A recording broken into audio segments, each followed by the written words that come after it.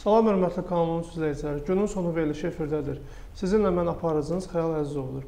Bu gün studiyamızın qonağı Xural qəzetinin baş redaktoru, keçmiş siyasi məhbus Əvəz Zeynallıdır. Biz Əvəz bəylə son günlər Azərbaycan mətbuatı ətrafında baş verənləri müzakirə edəcəyik. Əvəz bəy salamlayıram sizi. Xoş gəlmisiniz studiyamıza. Salam, xoş gününüzə gəlmiş. Əvəz bəy, e, yəqin müşahidə edirsiniz, son zamanlar e, mətbuatdan xüsusilə də Azadlıq radiosu, Meydan TV, Azərbaycan saatı və Azadlıq qəzetinin rəsmi səhifəsi olan Azadlıq infonun bağlanması ilə bağlı proseslər gedir. Rabitə Nazirliyi ilə bu media qurumları arasında çəkişmə gedir. Yəni buna istəyəcək münasibət bildirəsiniz. Deməli mən bir neçə müddət əvvəldir bu hadisəyə və bundan başqa digər hadisələrə həmişə münasibət bildirmişəm. Amma konkret bu hadisəyə də münasibətim olub bu günlərdə. Deməli bir hadisə ilə bildirim. İkinci Dünya müharibəsinin sonunda ki, dünya müharibəsi artıq bitir, dünya bölüşülür o zaman SSR ilə Böyük Britaniya və Amerika müttəfiq dövlətləri idi İkinci Dünya müharibəsinin sonunda.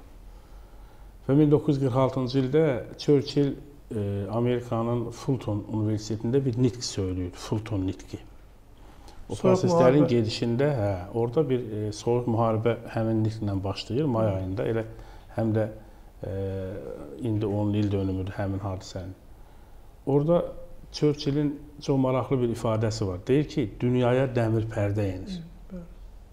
Həmin nitq e, SSR dağılana qədər dünyanın taleyini müəyyənləşdirdi və dünyada e, qəbul olundu ki, dünya SSR-ni dəmir pərdə olaraq gördü, qəbul elədi. E, Azərbaycanda ən müxtəlif zamanlarda o dəmir pərdə söhbəti olub. Amma mən hesab edirəm ki, bu son hadisə İndi bu yazılı mətbuat yığışdırıldı. Yazılı mətbuatın deyək ki, yayım ocaqları bağlanıldı. Sonra müstəqil qəzetlər susduruldu. Televiziya ekranları qaraldıldı. ANS bağlandı ki, ANS televiziyası müstəqil televiziya deyildi, amma hər halda bir fərqli bir səs vardı orada. Bütün bunların hamısından bir yerdə Artıq e, yazılı mətbuatdan sonra elektron mətbuatın da və Azadlıq qəzeti, Azadlıq radiosu, Azərbaycan saatı, Turan TV, Meydan TV kimi önəmli alternativ media quruluşlarının da saytı bağlanırsa, deməli həmin o Churchillin 2-ci Dünya müharibəsindən sonra bütün dünyaya aid elədiyi məqam indi Azərbaycana aid olunur. Yəni Azərbaycana həqiqətən e, medianın simasında dəmir pərdə enir və indən sonra ölkənin daha fərqli və daha media sahəsində ağır bir dönəmə gedirik.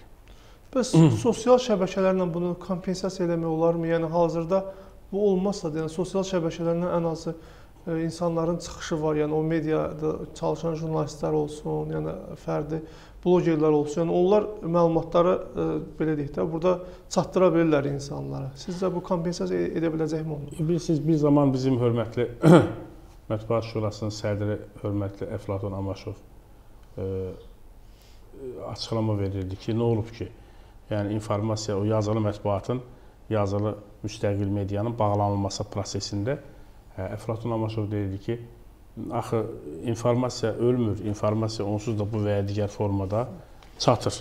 Yəni çatımlıdır informasiya. Sonra həmin o sözü deyə-deyə e, deyək ki, medianın yazılı hissəsinin fatihəsini verdilər. Hə, yer gəlmiş Əflatun Amaşovu da təbrik eləmək olar, 60 yaşıdır. Ona şöhrət orderini verdilər. Mən çox arzulayıram ki, ona Heydər Əliyev ordeni versinlər. Yəni Azərbaycan dövlətinin ən titullu mükafatına layiqdir bizim şuramızın sədri. Deməli, sosial şəbəkələrlə bunu niyə bağlamaq olmaz? Sosial şəbəkələr e, çox ciddi informasiyaların dolaşdığı məkan deyil. Sosial şəbəkələrdə son dərəcə ciddiliklə bir yerdə, son dərəcə qeyri-ciddilik də var. Sosial şəbəkələrdə nəzarət mexanizmi yoxdur. Sosial şəbəkələrdə fake deyilən ə, fərqli profillərin adı altında hər cür təxribatları törətmək mümkündür. Yəni o mərhələ məncə sosial şəbəkələrə də gələcək. Amma e, xüsusilə yazılı medianın bağlanılmasından sonra, xüsusilə yazılı medianın sıradan çıxarılmasından sonra elektron kivlərin e, başına bu hadisənin gətirilməsi və yeni qanunun qəbul olunması ki, bilirsiniz, qanunda yeni qanunla artıq istənilən saytı, istənilən xəbərə görə bağlamaq imkanı olacaq. Yəni hər hansı bir senzor durub çox rahatlıqla hər hansı bir sayta zəng eləyəcək və deyəcək ki, siz bu yazına bu informasiyanı çıxartmalısınız.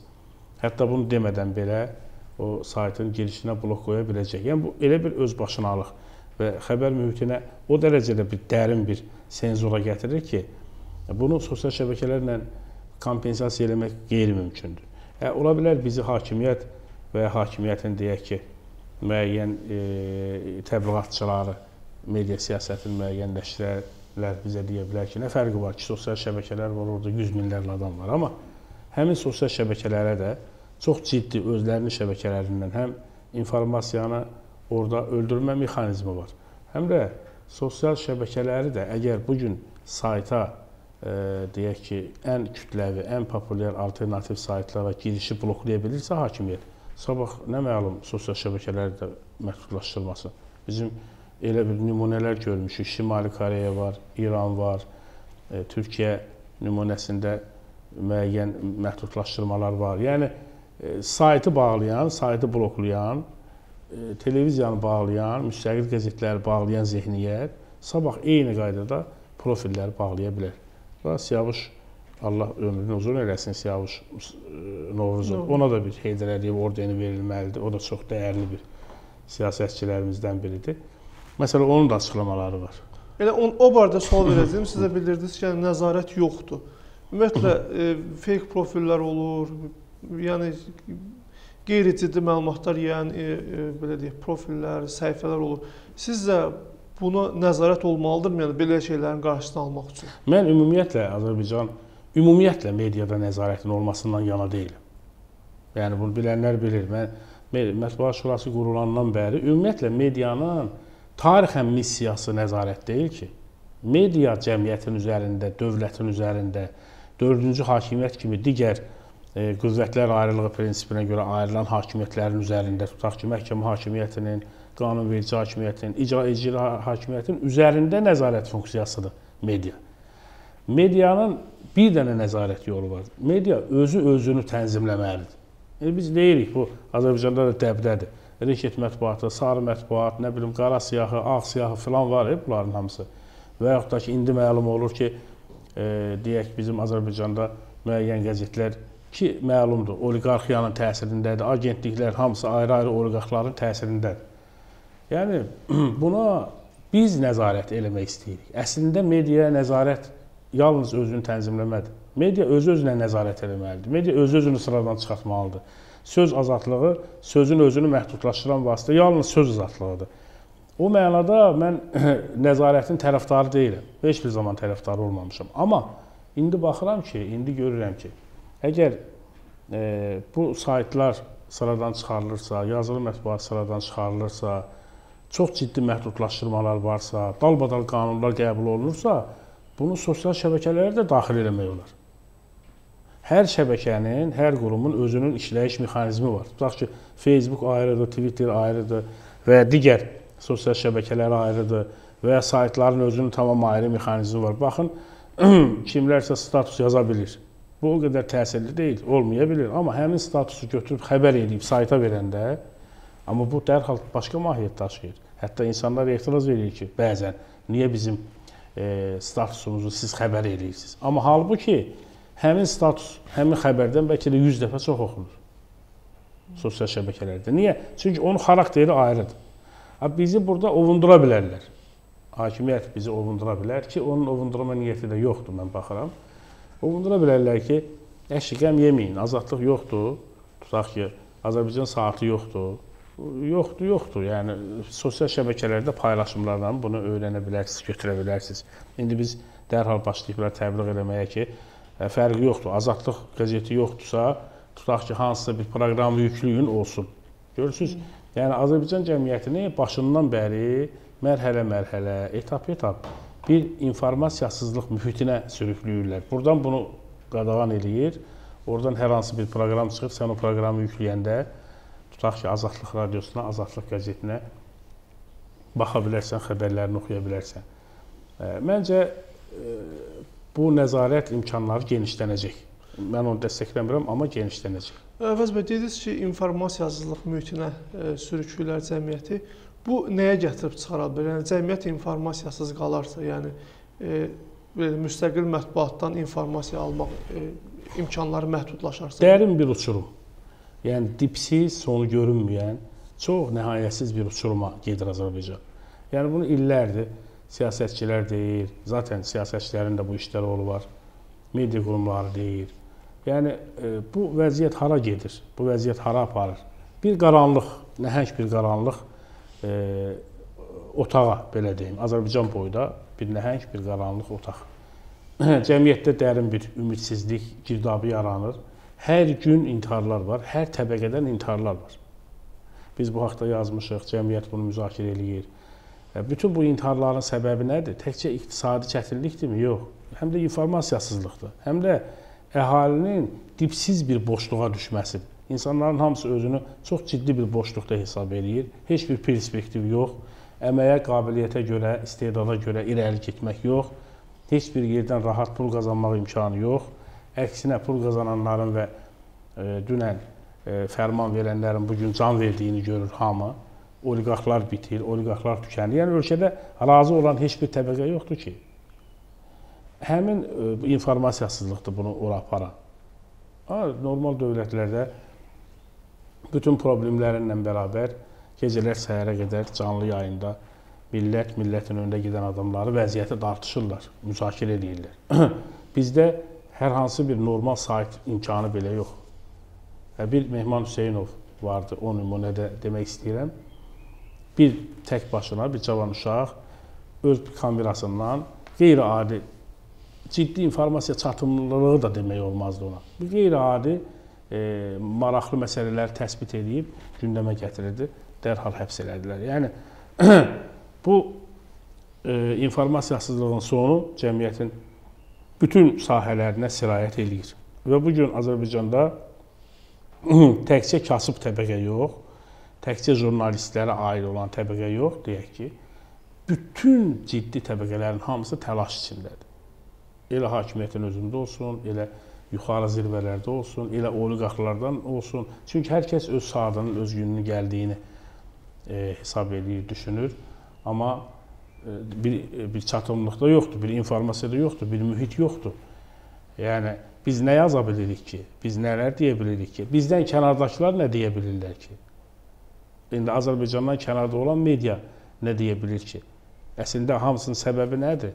Səbəb odur ki, hakimiyyəti və bizi idarə edənlər ölkədə və dünyada baş verən proseslərin nəticələri haqqında cəmiyyətin xəbərdar olmağını istəmirlər. Əvəz bəy, bir də bax bu sosial qayda yenə sosial şəbəkələrlə bağlı məsələyə. Deməli, e, bəzi məqamlarda olur ki, məsələn, sosial şəbəkələrin, yəni özləri məsələn istər Facebook olsun, istər Twitter olsun, ölkələrə e, nisbətən ikili standartlara yanaşırlar. Məsələn, 2-3 il öncə Türkiyədə e, bir e, Twitterdə bir profil var idi. Yəni çox böyük izləyiciləri var idi, amma kimliyi bilinmirdi. Yəni təhqirlər, e, təhqir dolu mesajlar yazır və Türkiyə hökuməti bunun IP-sini almaq üçün Twitterə müraciət etdi. Onlar vermirdilər və bu Twitter yəqin qapadılanda yadınızdadır sizin. Amma Türkiyə hökuməti onu nəyə görə bağladı? Məsələn, Amerikada eyni hadisə olmuşdu. Hər hansısa bir məsələ ilə bağlı polis Twitterə sorğu göndərmişdi. Məhkəmə qərarından sonra dərhal vermişdilər. IP-ni. Məsələn, belə hallar olsa, məsələn, Azərbaycan hökuməti və o, o onu əsas gətirib bağladılar. Bizdə də məsələn belə, yəni ki, nəyəsə əsas gətirə bilərlər də. Məsələn, istər Facebook-dan bağlı, istər ə, başqa sosial şəbəkələrlə və ya YouTube-un özü olsun. Yəni bu sizcə ə, qarşı tərəf də bir belə deyək də bunlara ə, imkan vermirmi ki, bu işlərini görsünlər? Yox, bilirsiniz, dünya elədir ki və YouTube-dur, Facebook-dur, deyək Twitter-dir, belə böyük sosial şəbəkələr internetin özüdür. Bunun hamısı böyük dünya gücüdür. Dünya əslində böyük bir kənddir. Və bu böyük dünya kəndini idarə edənlər var. Bunlar dünya hökumətləri deyil. Bunlar dünya dövlətləri deyil. Yəni biz bunu bilirik, biz bunu bilməliyik. Bilməliyik ki, dünyanı çox böyük ailələr idarə edir. Və dünya bu ailələrin əslində inhisarındadır. Və təbii ki, hər qurulan şəbəkələrin, deyək ki, YouTube kimi böyük bir dünya televiziyasının arxasında böyük güclər var. O ayrı bir məsələdir ki, Ərdoğan Fəthullah Güləni də istəyir. Onun Amerika onu da vermir. Nə olsun ki? Və yaxud da ki, Ərdoğan Yunanistana qaçan 8 türk pilotunu da istəyir. Biz işimizi elə qura bilirikmi? İkili standartlar var. O aydın məsələdir. Həmin dünyanı idarə edənlər və həmin dünyanın o gizli hökuməti və ya deyək ki, dünyanın o böyük gücləri aydın məsələləri bizə qarşı, türk millətinə qarşı, Azərbaycana qarşı böyük götürəndə müsəlmanlara qarşı bunların ön yarğısının olduğunu biz bilirik. Birincisi işləri ona görə qurmaq lazım. İşləri ona görə qurmaq lazım. İkincisi, əgər o ayrı seçkilik var deyə biz medianı bağlamalıyıq, məhdudlaşdırma mı gətirməliyik? Yəni siz öz öz içinizdə e, müstəqil medianın intişar tapmasına imkan vermirsiniz. Görün biz hansı həddəyik? Biz indi Azərbaycan mediası e, Həsən bəy Zərdabinin dövründən də geriyik. Həsən bəy Zərdabinin dövründən də geri bir hala gəlmiş. Bunu kim gətirib? Bunu böyük böyük hissə ilə özümüz gətirmişik. Müstəqil media bildiyimizin, Azərbaycan mediasının flaqmanlarından sazişə gedib Azərbaycan mediasını bu günlərə gətirib saldığını biz özümüz görmüşük. Ha, dünyadakı hadisələrin, bölgədəki hadisələrin təsiri varmı? Var. Ayrı seçkiliklər varmı? Var. Bunlar hər zaman da olacaq. Bu bir savaşdır. Böyük bir savaşdır. Amma o savaşda biz özümüzü necə hazırlayırıq? Azərbaycan informasiya məkanı, Azərbaycan informasiya mühiti necə ona hazırdır? Bayaq Türkiyədən misal gətirdiniz. Həmin Rəcəb Tayyib Ərdoğan həmin Facebooku və həmin interneti bir ara qapatmaq istədi. Düzdürmü? Amma həmin Rəcəb Tayyib Ərdoğanı xilas edən e, canlı yayımda o internetlə 2 dəqiqəlik Facebook üzərindən çıxış oldu. 2 dəqiqə. Onun taleyini həll elədi. Deməli biz doğru istiqamətləndirdiyimiz təqdirdə doğru istiqamətləndirdiyimiz təqdirdə bu biz bu millətin də lehinədir, bizim də. Amma yoxsa Şimali Koreya kimi də eləmək olar da. Ölkədə nə internet yoxdur, ölkədə nə azı heç nə yoxdur. Ümumiyyətlə. Sizcə biz ora gedirik, Şimali Koreya da ora gedirik. Valla Şimali Koreya da bəlkə bizdən biraz daha. Çünki onlar heç olmasa hönkürə-hönkürə ağlaya bilirlər. Yəni rahat, yəni onlar ağlama yarışına gediblər. Yəni biz bu gedişatla o qədər e, dərin bir uçuruma yuvarlanırıq ki, orada Şimali Koreya belə aciz gəlir. Yeni yəni, model olacaq. Da yeni model şey bu Ərdoğan həmişə deyir Türk tipi başkanlıq sistemi. İndi bu Azərbaycan tipi bir media bir şey qurmaq istəyirlər. Amma ora e, alınacaqmı, alınmayacaqmı, monopoliyalara baş tutacaqmı? Amma görünən odur ki, artıq saytlara yəni, da, internetə də təsir eləyirlərsə, gətirdilər bunu siyasi partiyalarla bağlı nəsə elədilər, yəni indi də medianı tam belə deyək nəzarətə. Bütün sahələrdə azadlıqlar məhdudlaşır. Bütün sahələrdə təkcə məhdudlaşmır. Ümumiyyətlə azadlıqlar ortadan götürülür. Bu mən bilmirəm bu hökumətin nəyinə lazımdır. Əgər bir kritik vəziyyət olarsa bu ölkədə bu insanlar nə eləyəcək? Baxın, Azərbaycanda indi yüzlərlə problem var. Yüzlərlə.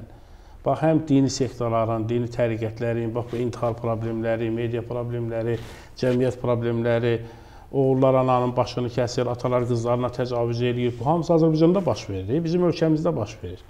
Və bunların yanına getdiyi psixoloq özünü asır, bizim müraciət elədiyimiz yazar həmkarımız özünü asır, müəllim özünü asır. Və belə bir qəribə bir ölkə var. Belə bir əcinnələrin sanki yaşadığı, cinlərin yaşadığı bir ölkəyə çevrilmişik. Bu məsələlərin hamısını müzakirə eləyəcək yerlər olmalıdır. Ölkənin baş bilənləri, ölkənin müəyyən intellektualları müzakirə eləməlidir. Toplum bilməlidir toplum hardan hara gedir. Mən dəfələrlə demişəm, baxın Azərbaycan ən azı bu gün Azərbaycanda ən azı 4 millət yaşayır. Yəni bu milləti ən azı 4 təbəqəyə bölüblər bizim insanlarımızın bir hissəsi yalnız İrana baxır, İran televiziyalarına baxır, İran mətbuatından e, içli dışlıdır. Bir hissə yalnız Rusiya telekanallarına baxır və rus dilli filmlərlə, xəbərlərlə özünü ovundurur. Bir hissə yalnız Türkiyə telekanallarına baxır və türk dilli xəbərlərlə özünü ovundurur. Yəni dünya haqqında məlumatları oradan alır. Bir təbəqədə, bir hissədə Avropa və Amerika meyllidir, qərb meyllidir və yalnız oranın deyək ki, verdiyi hava ilə nəfəs alır. Bu ölkədə ən azı bu gün 4 təbəqə var. 4 qütb var. 4 qütb, 4 qütb var və bu 4 qütb bir-birinə qarşı o qədər dərin bir ideoloji e, bəzən e, silahlarla silahlanır ki, yəni bir insan eynən İran kimi düşünür, Bir kəsim eyni ilə Türkiyə kimi düşünür, bir kəsim Avropa kimi, bir kəsim Rusiya kimi. Cəlil Məmməd Qurzadə əsrin əvvəllərində yazırdı. Bir anadakı ah yazıq vətən. Bir ananın üç evladı olur, biri gedir Türkiyə, biri Rusiyaya gedir, biri İrana gedir. Ondan sonra düşür orada oxuyur, gəlir, evdə başlayırlar dalaşmağa. Çünki biri türk təhsillidir, biri İran. O problem 100 ildir bizdə həllini tapmayıb. Və yaxşı, biz onda biz necə dövlət qururuq? O zaman bu media nəyə lazımdır? O zaman bu televiziyalar nəyə lazımdır? Yəni Azərbaycan hardadır onda? Əgər Azərbaycanda ən müxtəlif ölkələrin, qütblərin insanları formalaşırsa, baxın, Azərbaycanda təhsil artıq tamam arxa plana keçir. Bacaran qaçır. London, Avropa, İngiltərə, nə bilim, Amerika, Türkiyə, İran, hətta İran. Hətta İran bu gün Nəcəfdə, bu gün Qumda, bu gün bizim yüzlərlə tələbələr təhsil alır. Və bu gün indi Azərbaycanda gəlib həbs olunan adamların əksəriyyəti Nəcəf təhsillidir, Qum təhsillidir. Və yaxşı, sən onda bu ölkəni hara aparırsan? Burada digər bütün maraqlar varsa, o zaman Azərbaycanın maraqları hanı? Azərbaycan dövləti o zaman hardadır? Azərbaycan dövləti niyə özünü göstərmir? Azərbaycan dövlətinin ortaya qoyduğu nədir? Üstə gəl də ki, Allahın bizə verdiyi bu nemətin pulu hanı? Neft. 150 milyard bir gəldi, 200 milyard sayan var. Mən hesab edirəm 1 trilyondur. Və yaxşı, siz bu 1 trilyon pul gəldi, getdi bu ölkədə. Heç nə yoxdur. Uşaq bağçasından deyək ki, ali məktəblərə qədər də darmadağın hər şey. Dünən bir dənə imtahan keçirilib tələbə qəbul üzrə dövlət komissiyası tamamilə zay, suallar anlaşılmır, oxunmur. İndi bizim ən çox inandığımız, etibar elədiyimiz güya ki qurumlardan biridir. Test. Test üsulundan. Yəni hər şey bu qədər zay bir hala gəlib. E, o zaman o zaman nəyin fərqi olur? Yəni bu ölkədə o zaman bu ölkə hara gedir? Təbii ki, bütün bu bəlirsizliklərlə, qeyri-müəyyənliklərlə ölkə dərin bir uçuruma gedir ki, zaten uçurumun da kənarına çatmışıq, bəlkə də keçmişik, bəlkə uçurumun artıq içindəyik. Yəni belə hadisələr baş verirsə və biz buna seyirci qalırıqsa, günün günorta çağı siyasi məhbusu e, həbsxanada öldürürlərsə, onun cənazəsini ailəsindən xəbərsiz gətirib dəfn edirlərsə, ailə öz övladının ölüsündən imtina eləyirsə, əmoğlanları yığılıb imzalayıb əmoğlunun qardaşlar bacılarından, bacılar qardaşlarından imtina eləyirsə, bu bu hara gedir yaxşı? Bunun bunun bir nə yolu var ki? Və bunun hamısının başında media azadlığının ortadan götürülməsidir. Bütün pisliklərin səbəbi media azadlığının ortadan götürülməsidir. Əvəz bəy, siz e, bax e, e, jurnalist kimi özünüzə senzura e, tətbiq etmək məcburiyyətinə qalırsınızmı? Yəni belə deyək də, elə bir şey olurmuş ki, məsələn, deyirsiniz ki, 10 il bundan qabaq bunu mən yazardım, bunu deyərdim, amma indi indiki vəziyyətə görə bunu deyə bilmirəm. Belə Mən bir şeylər olurmu? Şəxsən məndə məsələn olur, yəni çox jurnal biz hamı nədəsə e, belə deyək, özünə senzura tətbiq etmək məcburiyyətində qalıb. Və mən o adamlar kateqoriyasına aidəm ki, mən özümə senzura tətbiq edə bilmirəm. Yəni 3 il həbsdə qaldım mən 1158 gün. Hər gün yazdım, hər gün fikirləşdim. Hər gün fikirləşməyə vaxtım oldu ki, mən hardasa bəlkə səhv eləmişəm. Hə, amma heç o qənaətə gəlmədim ki, mən hardasa səhv eləmişəm. Bu peyğəmbərin bir həyatında maraqlı bir məsəl var. Peyğəmbərə bir adam pislik eləyir, biraz keçir peyğəmbər ona yaxşılıq eləyir. Həmin adam yenə peyğəmbərə pislik eləyir. Və peyğəmbər yenə ona yaxşılıq eləyir. Yenə pislik eləyir, yenə yaxşılıq eləyir. Axırda bu ətrafda soruşurlar ki, ya peyğəmbər, sən bu yorulmadın mı? Yəni bu adam onsuz da pis, pis pisdir, bu adam pislikdir, bu həmişə pislik eləyir. Deyir ki, əgər onun o öz mahiyyətindən uzaqlaşmırsa, mən öz mahiyyətimdən niyə uzaqlaşım? Onun mahiyyəti pislikdirsə, o pislik eləməlidirsə, mənim mahiyyətim yaxşılıqdırsa, mən yaxşılıq eləməliyimsə, mən bundan niyə uzaqlaşım? Bu bütün insanlığa bir işıq tutmalıdır. Bilirsiniz, biz böyük bir istibdadla üz-üzəyik. Böyük bir istibdadla. Mən özümə senzura tətbiq eləsəydim, yəqin ki, daha başqa e, qəzetlərim bərpa olunardı, daha deyək geniş işlərlə məşğul xırda da, olma yəni imkanımız hardasa olardı. Qırmızı xətt bəlkə də, qoymaq da, bəlkə yəni də ümumi qırmızı xəttlər var, bəlkə də bəzi yasaq mövzular var, bəlkə də biz o mövzular haqqında fikirləşirik ki, bəlkə bu mövzu haqqında hələ yazmaq olmaz. Bəlkə elə şeylər, bəlkə elə şeylər eləmək olar, amma o senzura deyil. Senzura tamam ayrı şeydir. Senzura senzura nəyinsə qadağan olunması, nəyinsə ümumiyyətlə olmaz deyilməsidir. Mən o xarakterdə adamlardan deyiləm və bu ölkədə o xarakterdə olmayan çoxlu adamlar var. Çoxlu jurnalistlər var. Hələ də prinsiplərini dəyişməyən jurnalistlər var. Əslində mən bizi idarə edənləri başa düşmürəm ki, axı müstəqil insanların, müstəqil medianın hakimiyyətə nə kimi ziyanı ola bilər ki? Bütün dünyada bütün hakimiyyətlər müstəqil mediadan bəhrələniblər. Əslində normal hakimiyyətlər, normal deyək ki, iqtidarlar medianın müstəqil olmasına maraqlı olmalıdırlar. Çünki media cəmiyyətdə çirkinlikləri açıq göstərir və iqtidara imkan verir ki, o çirkinlikləri təmizləsin. Görünür ki, bizim hakimiyyətimiz o çirkinliklərin bir avası içindədirlər. Ona görə də istəmirlər ki, onların başına gələnləri media açsın. Amma bütün hallarla mən nikbinəm. Mən hesab edirəm ki, Azərbaycan mediasının gələcəyi çox yaxşı olacaq inşallah. Oldu Əvəz bəy, biz ayrılan efir vaxtı burada sona etdi. Studiyamıza gəldiyinizə görə sizə öz minnətdarlığımızı bildirirəm. Sağ olun hörmətli izləyicilər. Növbəti görüşlərədək.